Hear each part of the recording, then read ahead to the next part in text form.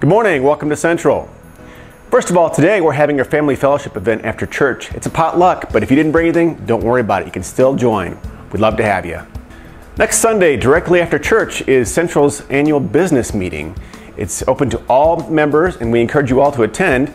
We'll be discussing the state of Central, some of our finances, and also a chance to help encourage the leadership as they get ready for their advance with some vision ideas. Sunday, December 2nd, will be Central's Women's Christmas Dinner. It starts at 4.30 and tickets are $8. For more information, here's Abby. Two Sundays from now is the annual Women's Christmas Dinner from 4.30 to 7 p.m. Do you have a ticket?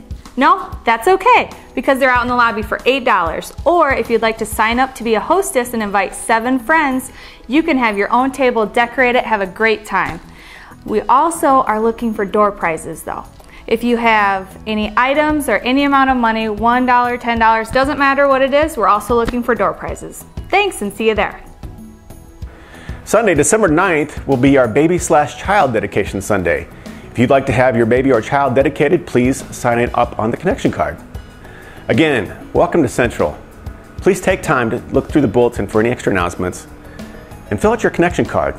You can put your prayer request in there as well you can place your card in any of the boxes around the corners of the sanctuary. Again, it's great to have you with us. God bless.